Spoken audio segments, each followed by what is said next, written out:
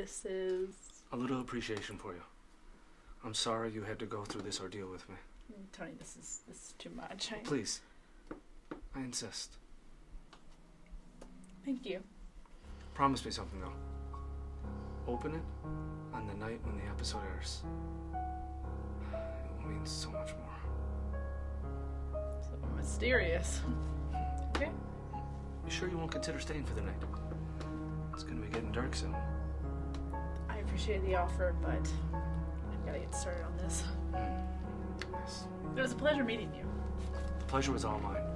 And once again,